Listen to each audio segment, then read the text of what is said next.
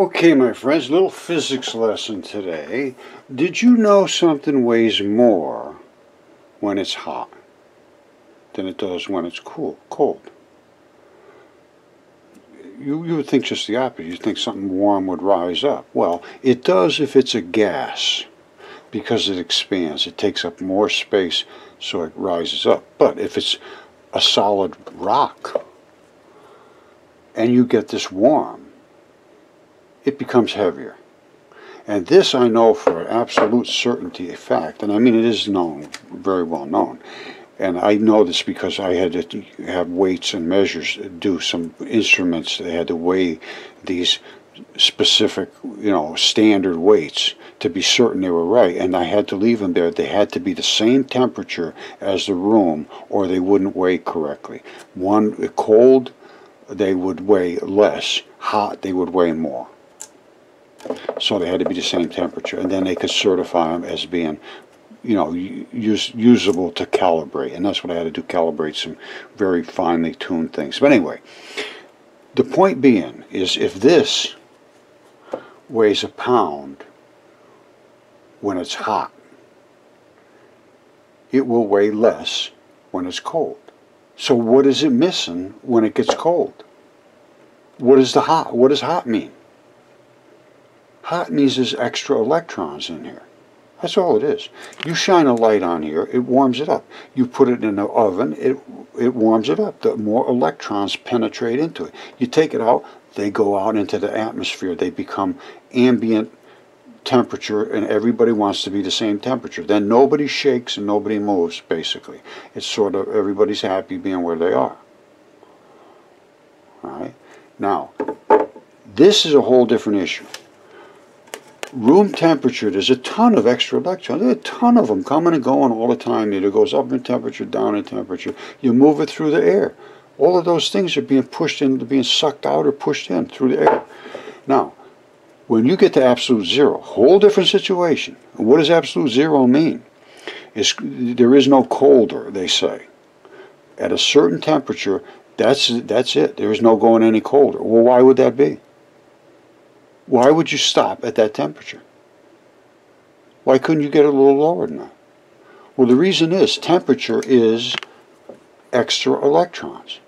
The more extra electrons is, the more it gets hot. The hotter it gets, eventually it combusts because there's so many extra electrons, they have to just burn. But if you take them all out to a point where you're in, I, I believe they call it the Bose-Einstein condensate, where there is nothing but matter that has no extra electrons. Totally different situation. Now, the problem is, is that the way they predict these models to interact is along the Bohr model, which is not correct. The Bohr model does not take into account that everything is a dipole. Everything is a dipole. Now, this just came out today from NASA, and this is about this new thing they're doing out in space to, to try to look at the particle nature of of energy. And I don't know how they're doing this. There's there's some way that they're injecting a little bit of energy into virtually absolute zero material. And then the energy tries to to move away from itself, and it does. Watch, this is the the interaction it stretches out and pushes away each other from itself, and then it all starts to add in. The reason you can't see it now in, any brightness is because these particles are superconductivity means I want any electron you can give me, and these are all electrons. Originally, they were all in that ball surrounding a black center, and I can show you another experiment in space, same thing, only not not in liquid um, well, in absolute zero, but in a vacuum chamber. A little bit different, but this is all interesting stuff. In space, you get some interesting things. But don't forget now, you see, all of that stuff is now mixed in. See, now we got a black center surrounded. Let's get back to the black center surrounded. Oops. All right, there it is now. What is around that black center? Th those are the electrons. So now you have you have extra electrons here. And they push the dark matter into the center, and the white glowy particles surround them, which are the whiter part of the electrons. Now, that wants to spread out because superconductivity says I every one of these wants to have a little more electrons around it. They, they don't like to be that cold. So they want a few more electrons, and this has the only source of electrons they can get. So these start pulling, and these start pulling, and then you they just, they just sweep into the mix, and that's what's going to happen. Watch, it gets pulled, and phew, now everybody's sucking up the the particles until there is none left. Now let me show you another experiment in space.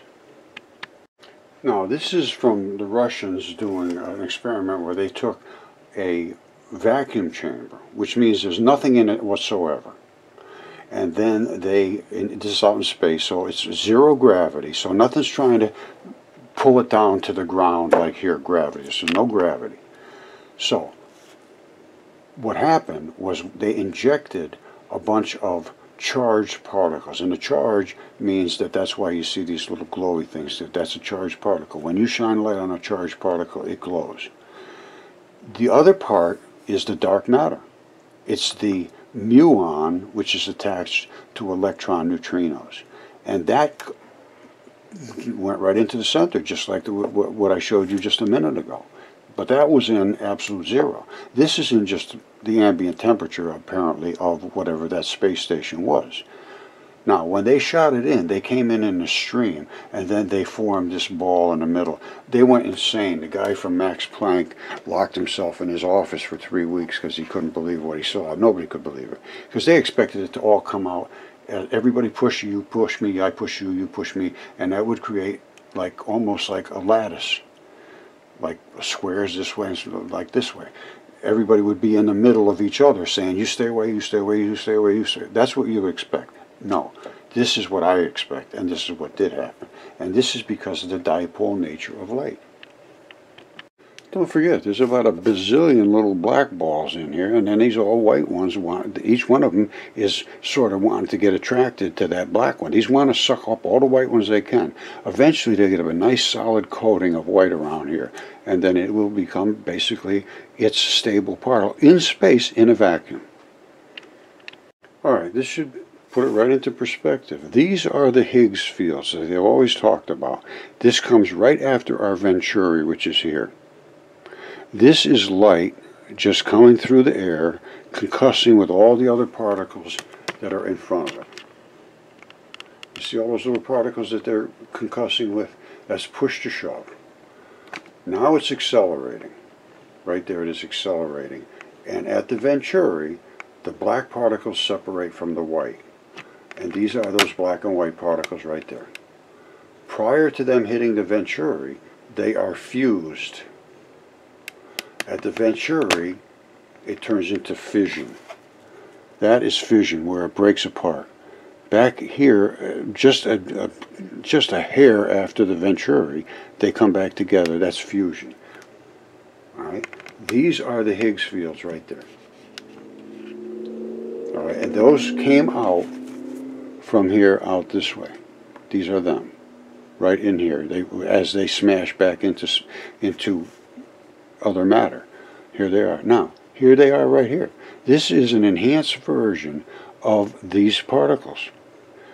Look at the dark center and the white glowy core around them. This is the leading tip of these of these Higgs fields. You see the Higgs fields coming forward? There's a tip on every one of these, and there's a very interesting one here. This is very unusual. This was supposed to be all red laser. These are pinched, pinching this red turn it to turn it into blue. So you can actually crush the field down to make it go faster or, or display a, a, a more intense color, blue. That's more intense right now. So we see the same things we've seen everywhere, where the black is in the center, the glowy white is around it. Only these are photons of light, and they may even be the electron only. I don't know. But this needs to be seen. and it needs to be looked at deeply because we have obviously separated the particles. We've, we've created fission and fusion. Okay, they're finally admitting it. The Bohr model is flawed and is not correct at all. And this is just out today, uh, March uh, March 23rd, 2022. The Bohr model is neat but imperfect depiction of atomic structure, and it's completely wrong. It works after you get to a certain point, but in subatomic range, it does not work. And my electron flood theory does, and it simplifies everything to a point that it is a no more possible to be more simple. This is the new model. Bohr is no more. It's called dipole electron flood theory. Electrons do not just have a negative charge. They have an electron neutrino and a muon neutrino. Consider this the negative charge. Consider this the positive charge. This one never changes in size. It is only attractive. It is gravity. It is dark matter. It is the carrier of this brilliant burner. And every single molecule and atom has its dark center. This is a slice through, a, through like an egg. It has a dark center with all of the white glowy around the outside. I showed you that. 1839 of these make a proton. Two of these make photons. Now, at 1839, when they hit head on, they get just nothing but debris at CERN and Fermilab. We show the actual particles, just like looking at them right in front of you. All right, just you have to stick around for a long time. We'll be going over and over and over all kinds of different things. But heat is nothing more than extra electrons. They say it's just because it's shaking back and forth. No, it's not. There's a ton of extra electrons in there. They can leak out, and those electrons can move into other gases and into other solids and so forth. But they are only extra electrons, not just because they're jiggling around the hotter they get, the more they will shake around because each one of them wants to push in each other's guy's territory. So yes, they do become vibrating and violent. But the only thing that heat is, is particles. If it's an ambient temperature, everybody else is the same temperature, they're not doing anything.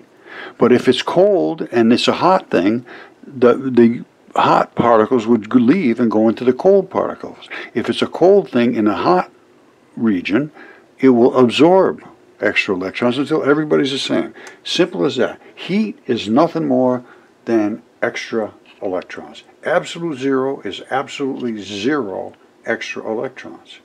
That's why it's superconductive. As soon as you touch it with electrons, it sucks them right up.